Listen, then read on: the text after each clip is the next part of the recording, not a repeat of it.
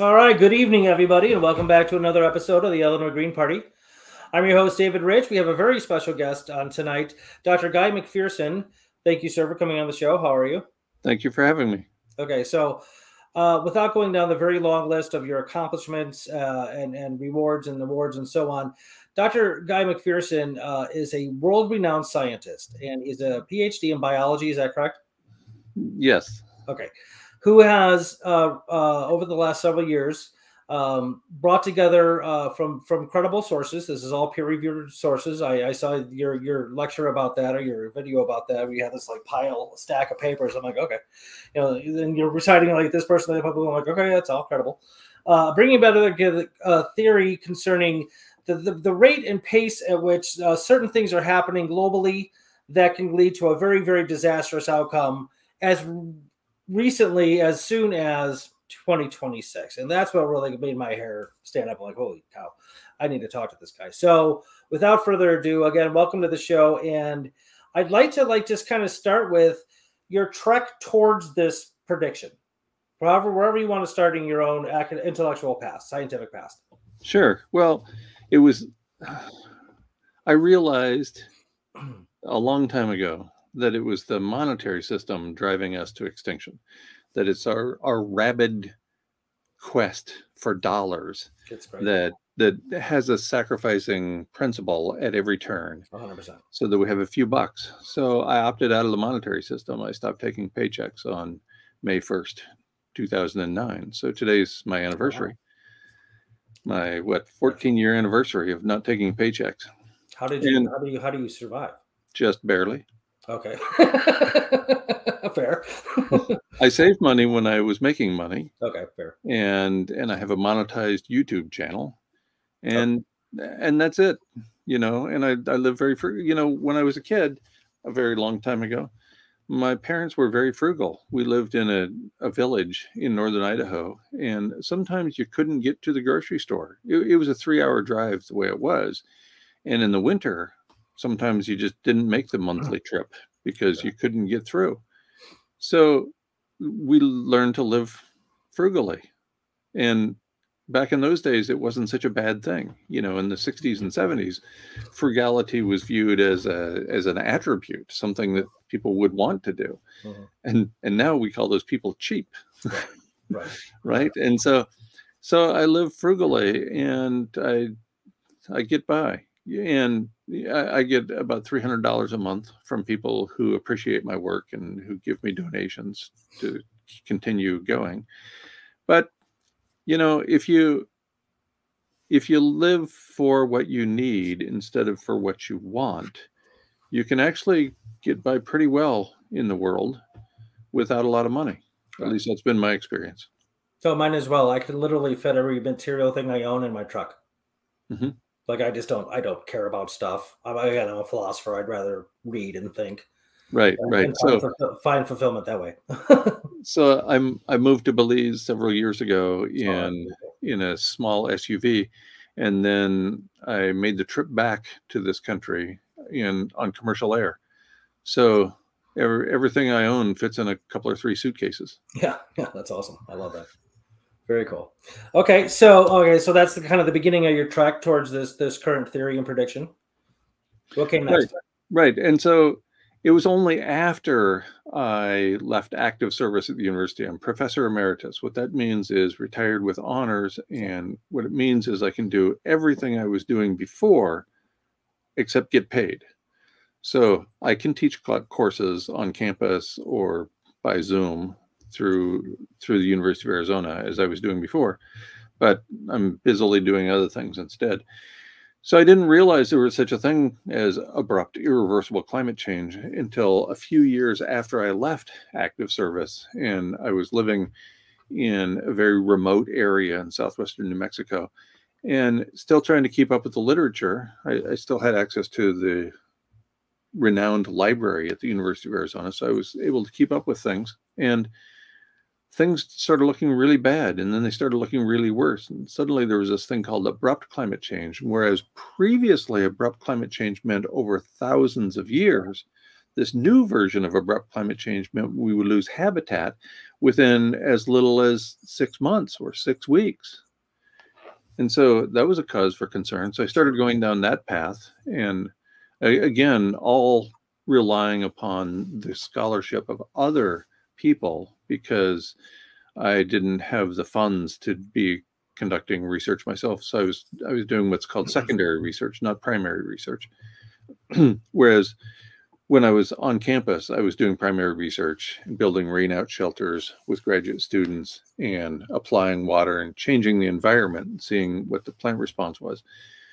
Um, since I since 2009, I've been operating solely by relying upon the work of other people. And I can't remember when all that started, but it was on June 20th, 2012 that I posted a blog post indicating that climate change was abrupt and irreversible. So that was June 20th, 2012. Interestingly, with two separate reports, the IPCC concluded in on the 8th of October 2018 and then on the 24th of September 2019, less than a year apart, they concluded that climate change was abrupt and irreversible, respectively, in those two reports. I'm, I'm reminded of something that Robert. Uh, oh, why is the name escaping me now? Um, the science fiction, the American science fiction writer. Heinlein, right. Oh, okay. Robert Heinlein once wrote, uh, being right too soon is socially inconvenient. That's true. And, and, that certainly has been the case for me. I yeah. pointed out that we were in the midst of abrupt, irreversible climate change in 2012. The IPCC comes along, does the same thing in 2018 and 2019, and nobody's taken issue with the IPCC reaching that conclusion. But man, did they take issue with me reaching that conclusion. Yeah, and that's something I also noticed when, like, after I discovered you and invited you on the show and, and kept doing more research on you and, and your your your claims. Uh, the IPCC is not necessarily disagreeing with your your conclusions. I don't know if they're willing to take uh, the, the the the step of like saying 2026, um, but they I do know that they have said, and other scientists have said that the methane release from the glaciers melting could literally happen at any moment. Now they just sort of leave it open like that, which is still a very urgent claim. Right. Claim with a great deal of urgency. Um, but it doesn't have a specific time. Um, but go ahead. Sorry, I, I just want to put right. No, no. The, as you said, the IPCC is a very conservative organization, as you mentioned before, and I had heard this well before that that video of yours um, is that it takes them because it's all kind of intertwined with government regulations and bureaucracy and red tape so like that. It takes them a long the the the when they put out a paper. This is why they're constantly updating their their papers. Right. Oh, is because the, the the initial one, the big one that they put out, the report say, is like five, seven, eight, nine, ten years old.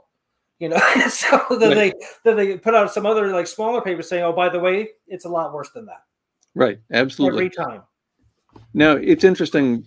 Um, Princeton professor Michael Oppenheimer wrote a piece on the Environmental Defense Fund blog on November 1st, 2007. It's called How the IPCC Got Started. And he points out that the IPCC, which was established during the Reagan administration, um, actually was designed to fail. Okay. And man, have they done so. So here's some of the things he writes. Um, U.S. support was probably critical to the IPCC's establishment. The U.S. government, again, this is the Reagan administration, saw the creation of the IPCC as a way to prevent the activism stimulated by my colleagues and me from controlling the policy, policy agenda. I suspect that the Reagan administration believed that most scientists were not activists and would take years to reach any conclusion on the magnitude of the threat. Even if they did, they probably would fail to express it in plain English. And so imagine the surprise of the Reagan administration and subsequent presidential administrations in the United States that the IPCC is actually speaking in relatively straightforward language that things are in pretty bad shape. So, uh, again, from the October 8th, 2018 report, global warming of 1.5 degrees, even abrupt geophysical events do not approach current rates of human driven change. This is this is the most rapid change in planetary history. Right.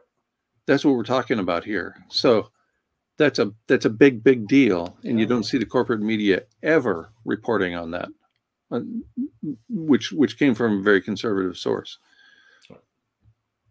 yes and also just to mention the as far as like a, a past uh, tipping point uh, there's what 440 parts per million carbon dioxide in the air nowadays measurably and right. uh, what's that Play, Pliocene yes uh, uh, levels mid, yeah mid Pliocene levels okay so you know, unless you have a giant like vacuum that can suck it out of the air, I don't know how you're going to come back from that. So and, it's and already, in a sense, over. And I think a lot of people who would agree that it's it's it's not stoppable, and then maybe we should change our our, our focus on policy about how to survive it, would still kind of put it towards the end of the century.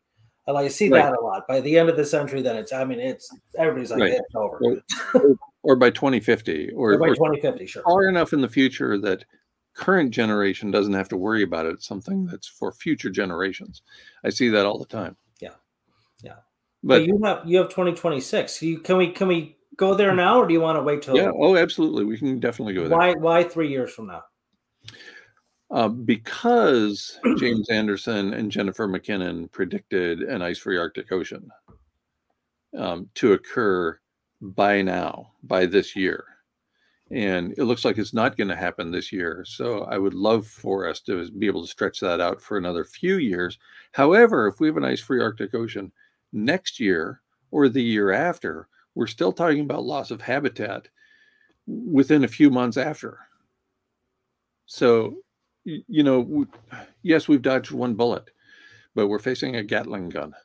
The bullets are flying from from many directions at the same time. So you know, I would love to re- receive some assurance that we will have ice floating on the Arctic Ocean from now till 2050, but I think that's essentially impossible based on the rate of change that we're seeing so far uh, with respect to the uh, melting of that ice. Right, and also I know that uh, concerning the the ice in the Arctic, uh, both North and South Pole is that definitely in the North Pole. There's like the, the, these like the, what's the one in Greenland the the the, the, the Thwaites Glacier. Oh, the, the Doomsday Glacier. Right. Yeah, I don't remember. Okay. Uh, like it's it's you mentioned before in your other videos, and this is something important that we definitely talked a lot about in system science uh, is a feedback loop. And most right. of nature, if not all of nature, is a set of almost an infinite set of different smaller types of feedback loops. Smaller ones get into bigger ones. So basically, just to get the basic logic of a feedback loop, is that causally speaking, A uh, uh causes B, B causes C, C comes back around and causes A to become greater than or different somehow, which causes B, which causes C, which then go back. So it's just like this. It's called in logic, it's called recursive logic. In in, in biological geological systems, it's called a feedback loop. Right, or a self-reinforcing feedback or self-reinforcing because, because it self-reinforces. Yeah. And and it's you know at some point I, I've identified more than 60 of these on my blog in in a very long essay that I stopped updating several years ago. And then the IPCC comes along. It's incredibly conservative with this approach, as as pointed out in the incredibly conservative journal Bioscience, yeah. peer reviewed, and that was in the March 2019 issue of Bio of Bioscience. And so we know it's conservative, and yet the IPCC has concluded that climate change is irreversible based on an overheated ocean. Here we are looks like we're headed into a very significant El Nino southern oscillation. Oh, yeah. Which will release many, many gigatons of carbon dioxide and abundant heat from the ocean. And so that could well be the trigger for loss of habitat, loss of habitat for humans. I hope not, but we've been in a a La Nina episode for a very long time much longer than it typically happens. And so I, I, just don't see us avoiding an El Nino Southern Oscillation event in the near future, probably starting this fall. And if that's the case, there's going to be a lot of heat released from the ocean. That's that's going to be seriously problematic. Yes, and this is something else that I, I, looked into recently as well. And there are a lot of very top scientific agencies across from Europe to America to all over the uh, world, Australia, who say the exact same thing about the Southern Oscillation. El Nino is is all this, all the signs are in place for it to happen. Um, right. It would almost be a miracle for it not to, you know, right. kind of thing. Uh, and it's a very right. as dangerous as you're describing. Can you tell the viewers like what is La Nina and what is El Nino? Yeah, so they have to do with sea surface temperatures. When the sea surface temperature is relatively cool, that's a La Nina event. There's there's three phases. There's La Nina, which is the cool cycle. There's the neutral phase, and there's the El Nino southern oscillation. The El Nino southern oscillation, you can you can think of the ocean as a battery, and it stores a lot of heat and a lot of greenhouse gases, most notably including carbon dioxide. So when the El Nino southern oscillation comes along, heat and carbon dioxide are released at a very high level from the world's ocean. And that increase in heat, as well as the increase in carbon dioxide, further contribute to the self the idea of self-reinforcing feedback loops. More carbon dioxide, more heat causes more carbon dioxide and more heat. So that's almost certain to occur based on everything I've heard, including NOAA's analysis, uh, National whatever NOAA stands for. Sorry, National of Atmospheric uh, National, National Oceanic, Oceanic and Atmospheric Administration. Yeah, that's it. There you go. anyway, so their again conservative analysis indicates that we're headed for an El Nino I, I think the only question at this point is how how severe is this El Nino going to be? Is it going to be a big one like the one that happened? I think it was in the late 80s, 87 to 88, 89, maybe.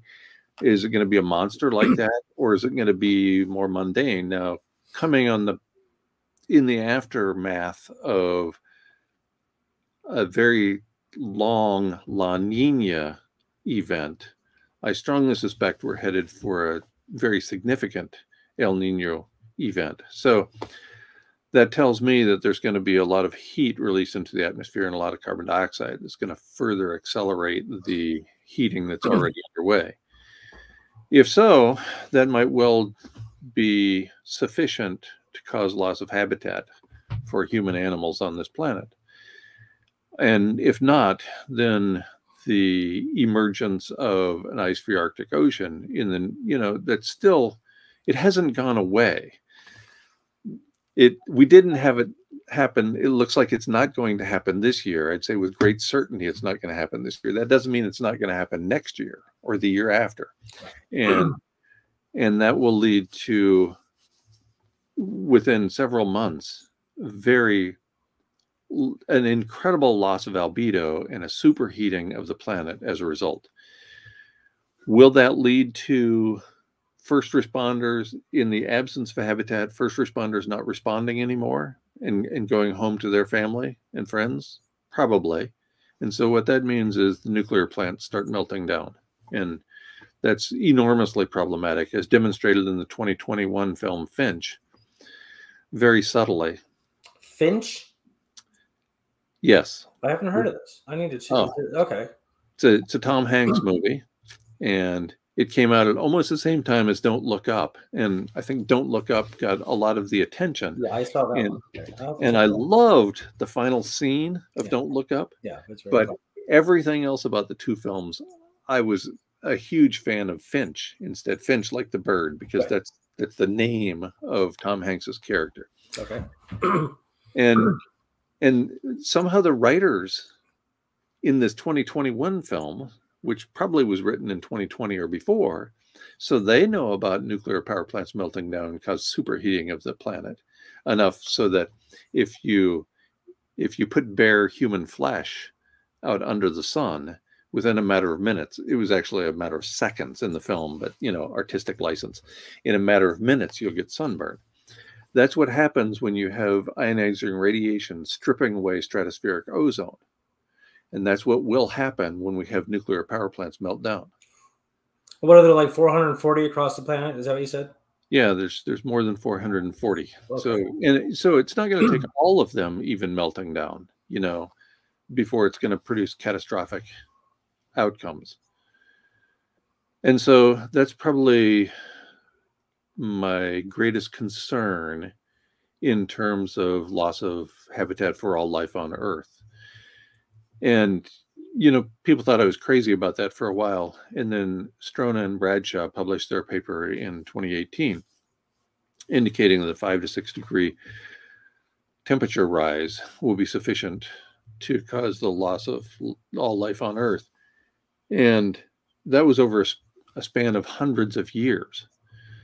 And the, the, the kind of rate of change we're talking about from the standpoint of environmental change in the near future is much faster than that with the with the stripping of stratospheric ozone as a result of ionizing radiation escaping those nuclear nuclear power plants.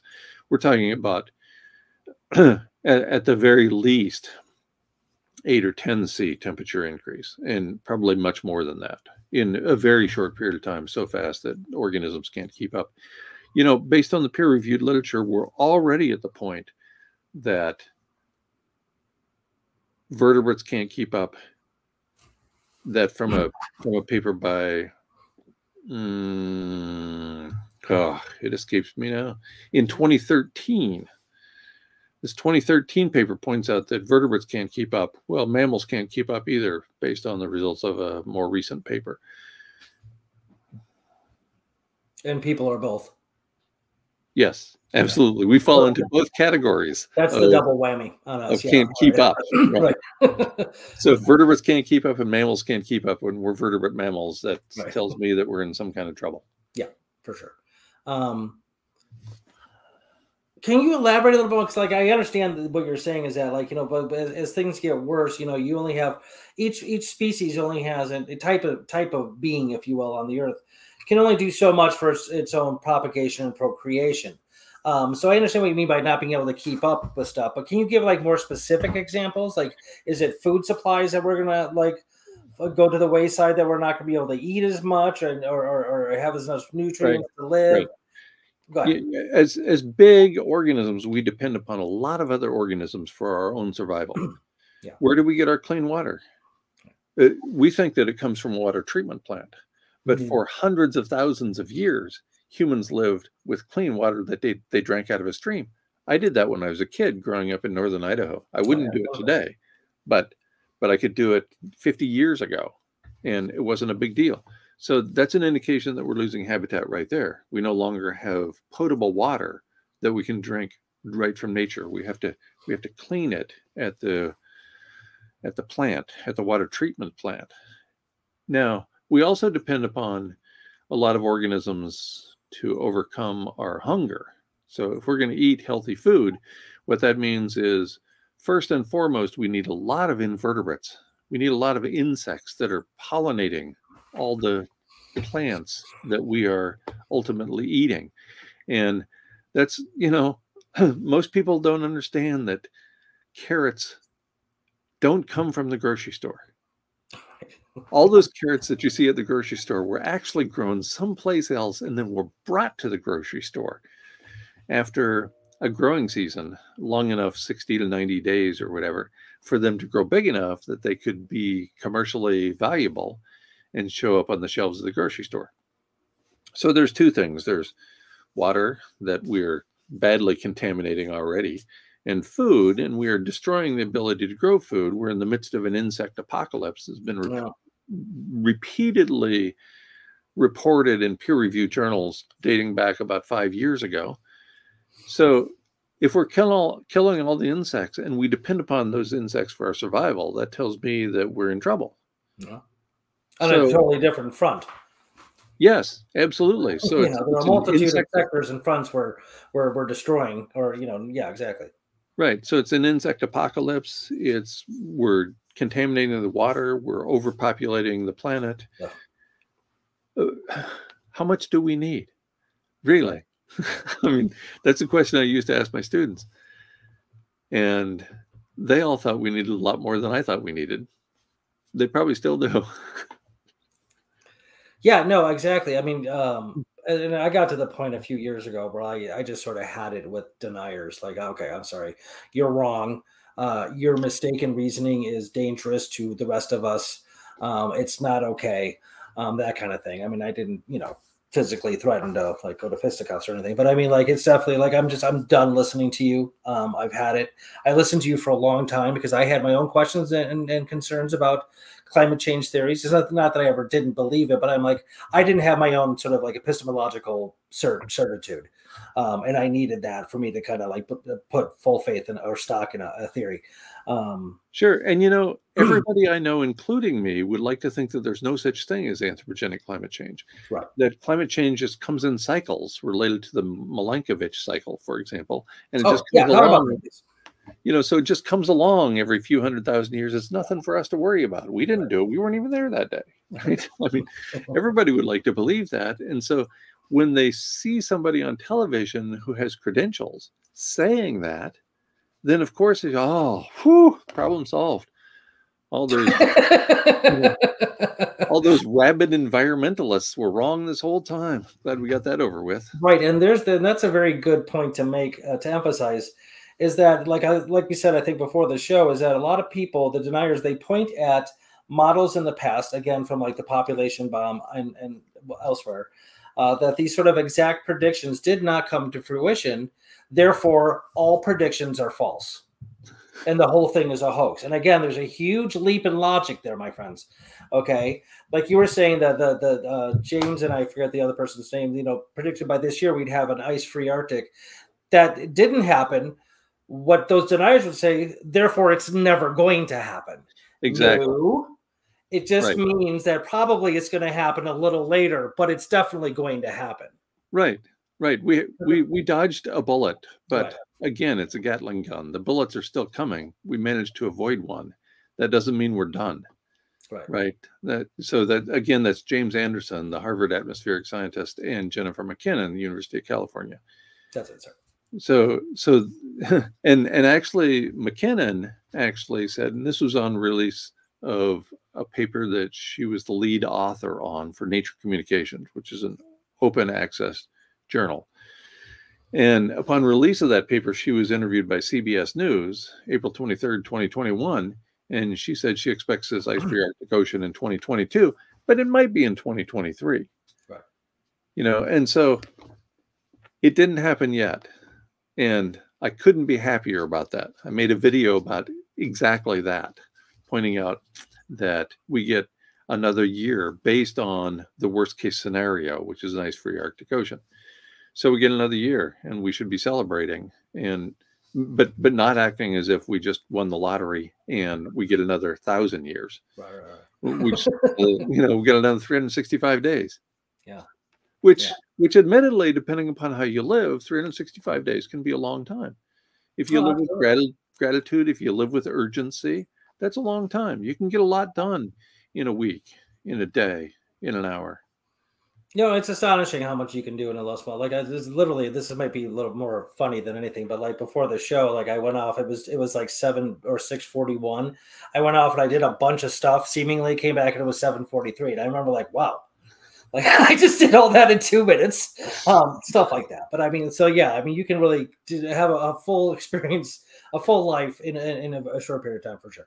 Um, right, and and and I see so many people who think they have forever to live. They think they're going to live into their 80s or 90s, like everybody does, right? In in first world countries, and so as a result, they don't live with urgency. They don't live as if every day matters they live as if there's only the the future in the very distant future and that used to be me and that's why i had so much money when i when i quit working and and so i can still persist on that money but increasingly i realize that that's not the way to live at least not for me.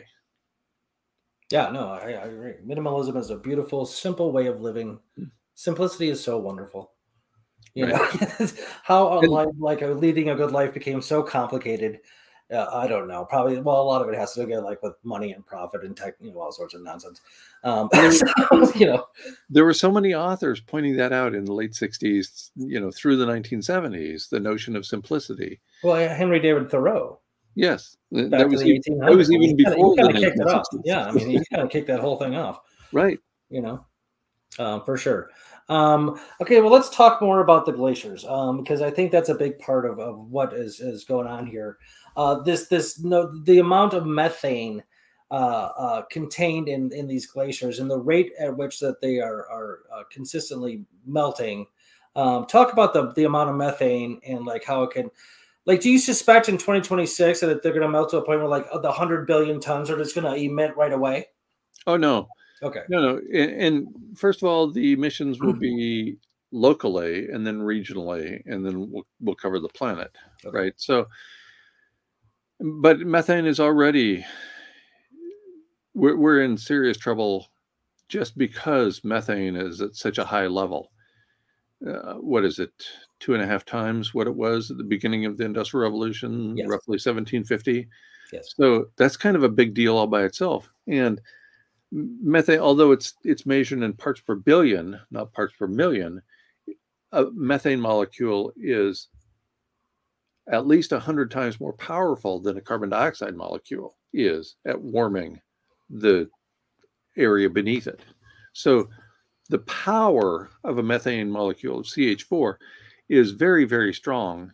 And hmm. even though it's measured in parts per billion, it's still a big deal. So you can you can take that parts per billion, right? So I don't even remember what we're at now. But do you do you have a good number, relatively recent? Of methane in the atmosphere? Yeah, I mm-hmm. think it's 1950. yeah, yeah. That sounds about right. So 1950, it's it's in parts per billion. So that's only 0.195 parts per million, right? No, 1.95 parts per million. Right. So the the part the the But it's a- partializing of it. Go ahead. Sorry. But it's 100 times more powerful than carbon dioxide as a greenhouse gas. Well, and also I don't want people to like think that because it's a small portion of a larger uh, sum that it has negligible or no, literally no effect. Uh, just think about this: uh, the COVID, the COVID virus is two microns big and can kill you. Okay, so I mean, just very, very small things can have very, very, and you can go into like the butterfly effect and chaos theory and kind of that kind of like the interconnectedness of things. Don't let the the, the proportion of small to big within the same collective uh, uh, discourage you from believing that this is true because that's simply not the case. Right. I, I don't see a lot of people taking a small amount of cyanide because it's just a small. right, amount. just because it's just like, oh, just take it and I'll be fine. No, you're gonna, you're Yeah. gonna die. Right. Uh, so-. Speaking, going back to Thoreau from earlier, naturalists during that time, uh, throughout the 1800s and early 1900s, would use apple leaves or cherry leaves in a kill jar because if you crush them and put them in the Yeah. kill jar, they release cyanide. Yeah. And so that's all it takes to kill. If you crack open a cherry seed and like lick the inside, there's a very high likelihood you will die. yeah, you know, And a there's cherry seed that you get at Jewel. there's a naturalist way back in the day 1840s i think it was in the in the united states northeastern united states who bet that he could eat a cup of apple seeds and it wouldn't kill him Okay. he lost Yeah, he, he's he's gone. That's just that's really uh, odd to me. You know, they don't do that. it's a cup and well naturalists back in those days took their took their work very seriously there's another naturalist who wanted to see how fast it would take a porcupine quill to go through human muscles so he stabbed it into his calf and walked around and measured it till it came out the other side Wow. you know this is taking your life very seriously Yeah, no, there's, there's also like I mean, the, I find the world, the physical universe, to be beautiful, absolutely, um, but a beautiful metaphysically or or mathematically, which is a lot of the beauty of nature, um, does not mean that it's always going to be nice to you. Right You know, remember, I mean, nature provides us with life and, and sustenance. It also will kill you. yes That's how it It- goes. Sorry. it's almost as if nature, nature bats last, right? Exactly. Never forget that. Um, methane. Going back to methane. Methane is is is far more contains more heat uh, than than carbon dioxide molecule by a, a, as much as like I heard eighty something percent more than a carbon dioxide one would. Right. And last in the first, sorry, go ahead. Sorry. You, you frequently see 80 times as much, but it's at least yeah. 100 times as much in the okay. short term. And we're talking about short term changes here. Okay, right. So over yeah. this over a span of 100 years, yes, it's only 80 times as powerful. But that's not what we're talking about here. We're talking about methane being released right now today right. and increasing in volume in the atmosphere. Right. Not not the in 2100 years. Yes, so for the next decade, we're talking about 100 times more powerful than carbon dioxide.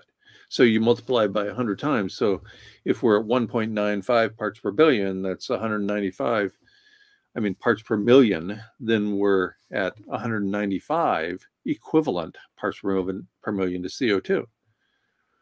So you tack on that roughly 200 to the roughly 400 carbon dioxide, and just those two alone takes us to about 600 parts per million equivalent CO2. Right. And, and those are two of 43 greenhouse gases.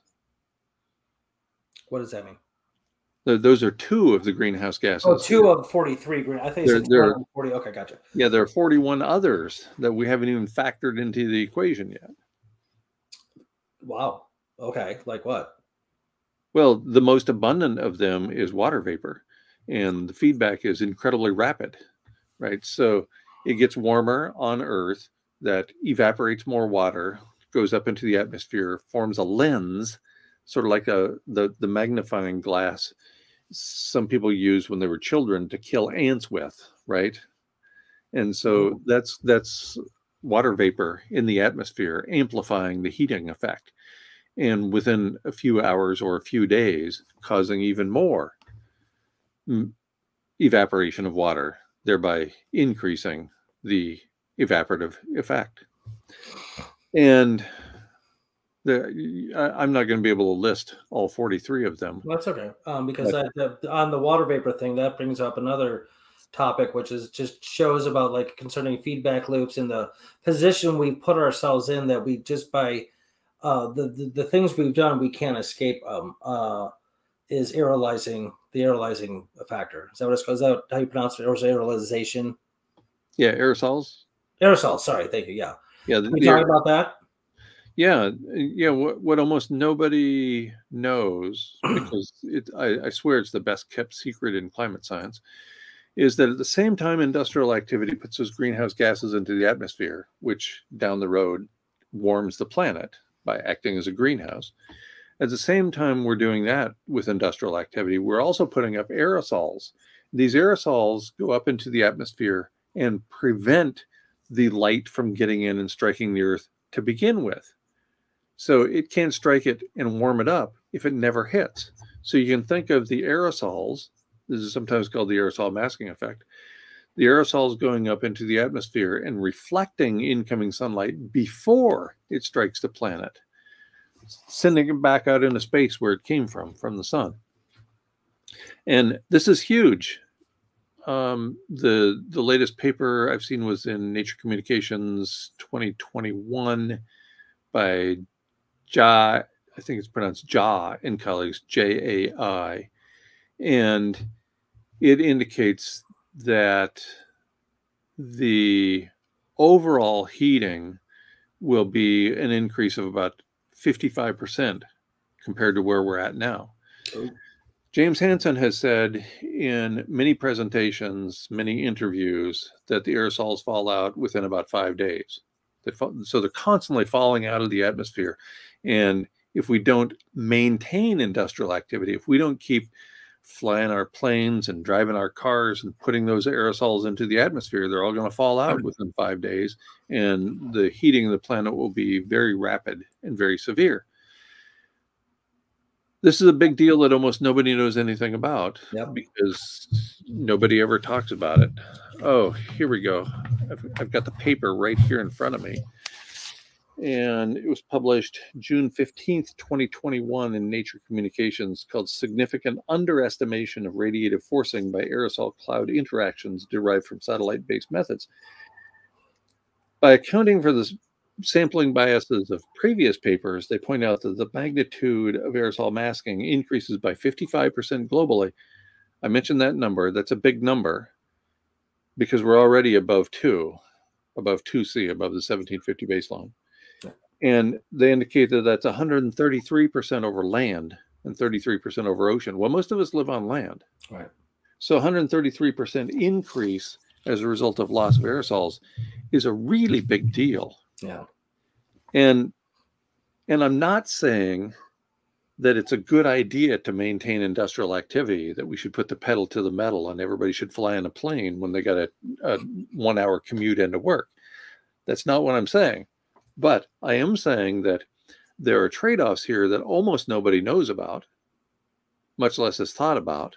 And we have to take care of both sides of the equation, not just the one factor reducing greenhouse gases, but also taking into account what happens when we reduce industrial activity and the aerosols falling out of the atmosphere as a result. This is a this is a very complicated matter, and the one effort that I've seen that I think could have done a good job at dealing with both sides of this equation, I think is moving too slowly to be useful. And that's the mirror reflection framework, which you can find at meer.org. Mirror in this case is spelled M E E R. All right, because I was going to ask about that next. Good. Okay, so let's. I just saw a video by I think the originator. Who? What's his name? Dr. Ye Tao. Yatao, yes, exactly. Uh, just mm-hmm. the other day, um, but you brought that up in several of the videos I saw you in. Um, so why don't you tell us what mirror is? M E E R. So, and and it's I can't ever remember the the acronym that I my mind does not understand acronyms either, man. Like I always have struggled with them because I, I guess because the letter can mean anything. I don't know. I've hmm. always I gotta like sound it out and like think about it. Yeah. So, yeah.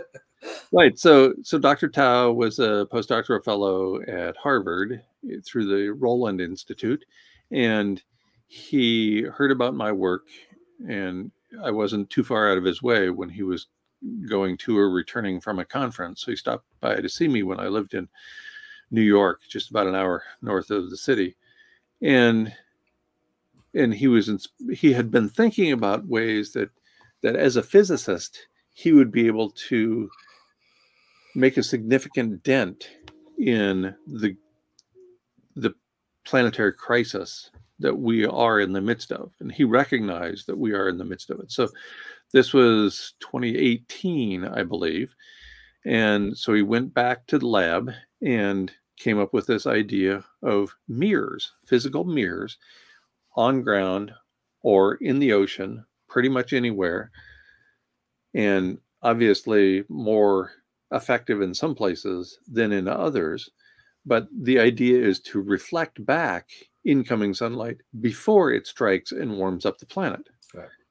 And so that's the whole idea of the mirror reflection framework right. is to do that as if we're in the in the midst of an emergency, which we are. Which we are. Yeah. And and get as many mirrors out there as quickly as we can. For their construction, they depend only upon sand, which is still sort of available out there. So we can we have enough sand to make mirrors still and so doing, really just a typical mirror, not anything special. That's right. Okay. And and typically raised up on a pole or put on rooftops. Some people who have adopted the idea have been putting mirrors on the rooftops yeah. in in cities, for example. Anything we can do to reflect incoming sun, sunlight back into space before it has a chance to warm the earth and contribute to the greenhouse effect is a good idea. And so that's been the entire approach. It seemed relatively simple. Obviously, even if it is relatively simple, it's been five years now, and it's difficult to get something like that off the ground. And as nearly as I can tell, no billionaire and no government of the world has taken it, taken the project under its wing and sort of made sure that it happened.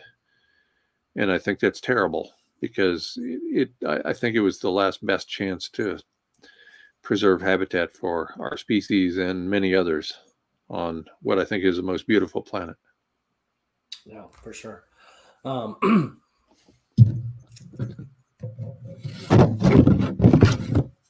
what what what do you expect when you say all life on the planet? Or do you mean the word all literally? Yes. It's not and, and, sort of like a hyper, hyperbolic, like I mean, like every microbe, everything gone. Yes, and and here again, I'm I'm only quoting previous literature in this case from Scientific Reports, which is part of the Nature series, and it's by Giovanni Strona and Corey Bradshaw. The paper is titled "Co-extinctions annihilate planetary life during extreme environmental environmental change," and the extreme environmental change is five to six degrees Celsius over a, a few hundred years. This paper was published November 13th, 2018, and it points to literally the loss of all life on Earth. Now, that said, even the oceans? Yes. Okay. Yes. All life on Earth. Okay. And there's been work that has been published, peer reviewed work, again, since this paper came out, indicating that even tardigrades, the go to survivor for people who can't believe that all life on Earth will be lost. Tardigrades are very sensitive to high temperatures, as it turns out. Yeah. So, and you know, they, they talk in here. Let's see if I can find the quote I'm looking for.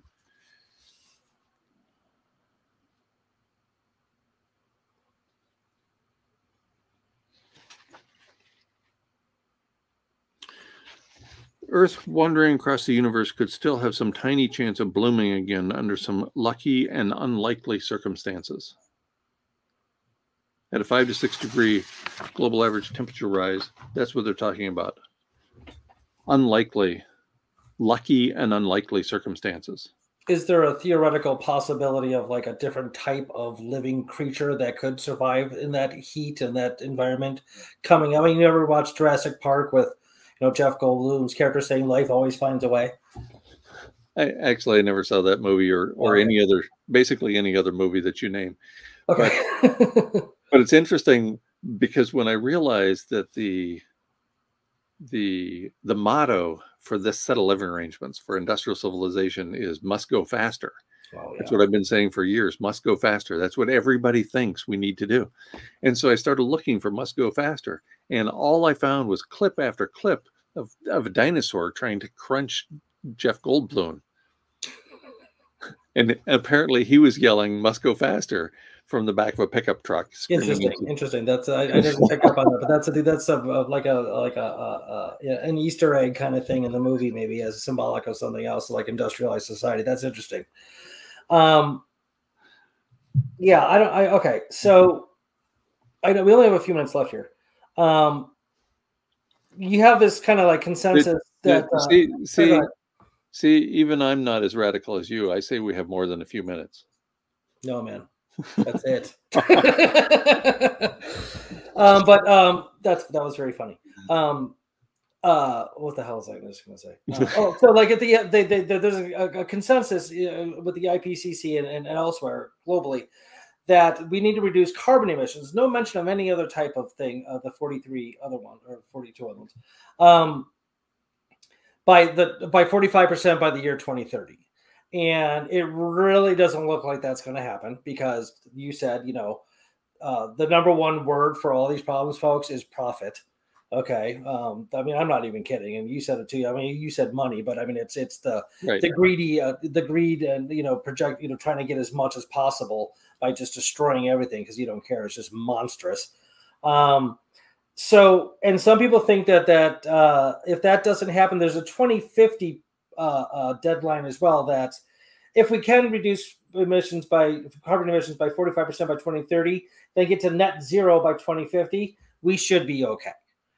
Now, let's say by some wonderful miracle, magical, some spell wizards or something like that, cast a spell on the north uh, North Pole and the South Pole, and, and all the ice remains as it is. Let's say just and like you said, hopefully your prediction of 2026 uh, comes. 2026 comes and goes. Everybody's fine. Um, what about those other predictions by the more conservative scientists? I mean, is there what would you say about those? Well, they're conservative, Okay, And- so it's just okay. but but you know i'm not i'm not saying let's just throw them out.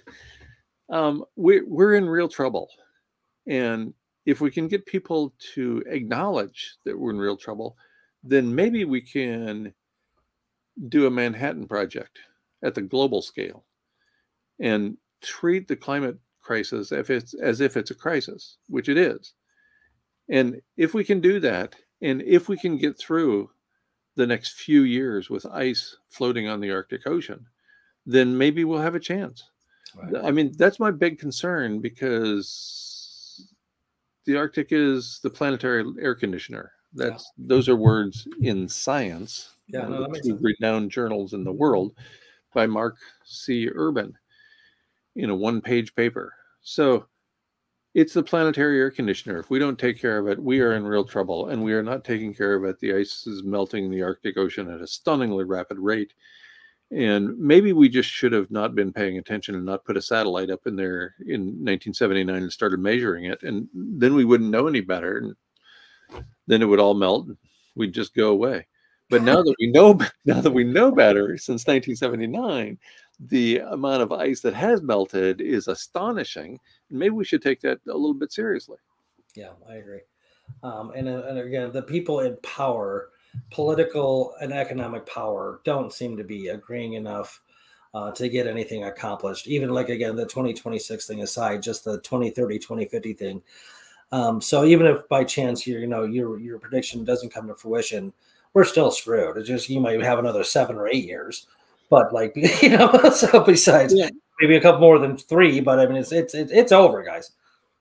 And and I would love to think that I'm wrong on all fronts. That everybody I quote is wrong as well, and the scientists are just making this up to scare people. Right? That would be awesome as far as I'm concerned.